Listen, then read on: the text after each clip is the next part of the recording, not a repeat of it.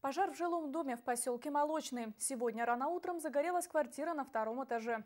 Очень быстро огонь перекинулся на кровлю. Многие жильцов даже не успели понять, что случилось.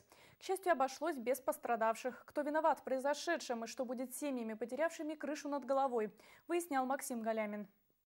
Семье Шемякиных, так же как и остальным погорельцам, забрать из собственной квартиры ничего не удалось. Пожар застал их врасплох. Многие даже не успели надеть теплые вещи. Поначалу жильцы подумали, что рядом горит мусорная свалка. Никто и представить не мог, что на самом деле полыхает крыша их собственного дома. Я думал туда.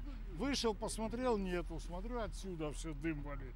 И с той стороны, и с этой. И все, и потихоньку оно за полчаса буквально оно к нам перелезло все. И все, теперь у нас нет ничего. Ни жилья, ни вещей, ничего. Только ремонт сделали. Только Да, ремонт. только ремонт сделали, кухню новую, телевизор купил, плазму, в общем, все. Все накрылось медным тазиком. Вот, все, что на нас, как говорится. В прошлом году здесь закончили капитальный ремонт кровли. Какие материалы при этом использовали, неизвестно. Но все очевидцы как один говорят, что уж очень быстро огонь охватил всю крышу. Впрочем, пожары в старой двухэтажке на торговой улице не такая уж и редкость. Строение, по подсчетам квартирантов, горело несколько раз. Но таких разрушительных последствий раньше каким-то чудом удавалось избежать. Это пятый пожар это в этом, дом- в этом доме. И постоянно только вот из-за этих пьяниц. И никто не, и никто не борется с этим. Ну, никто не хочет бороться. А как что происходит, сразу все приезжают. Еще и, и пожарные тоже не сразу, видите, кинулись. Вот, пожалуйста, весь дом почти сгорел. Чтобы справиться с возгоранием, пожарным пришлось полностью разобрать кровлю. Многие обвиняют бойцов в нерасторопности. Мол, приехали-то быстро, но как-то неправильно оценили ситуацию. Загорелась одна квартира. Но так как ветер с той стороны перекинулся сразу же в другую квартиру. И выгорела квартира больше, другая, чем которая горела. И все перешло на кровлю. Естественно, кровля загорелась, и загорелись все остальные квартиры полностью. Как считаете, можно было локализовать, как-то справиться, вот, чтобы не распространился По пожар? крайней мере, на тот момент, когда они приехали, можно было хотя бы спасти полдома.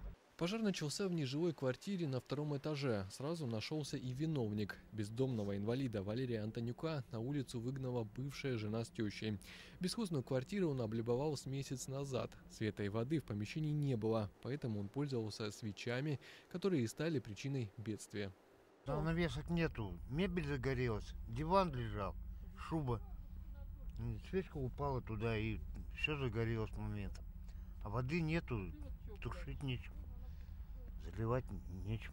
И вы, вы вышли, выбрались, да, самостоятельно? Кое-как выбрался, да.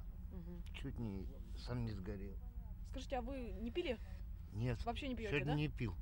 Восстанавливать разрушенный дом, скорее всего, не будут. Что станет с погорельцами, пока тоже не ясно. О компенсациях никто из местных чиновников старался не упоминать. Где ваши дети сейчас? Дети, они у соседки. Ну пока пускай там, наведите порядок в своей квартире, так? И живите там, а не цыган пускайте. Хорошо. Цыган в поселок пускает, а сами живете в двухэтажке. Зато достоверно известно, что всех жильцов администрация поселка постарается временно разместить в муниципальном фонде, но многие рады и такому вниманию к себе. Только в каком состоянии будут эти квартиры – вопрос открытый.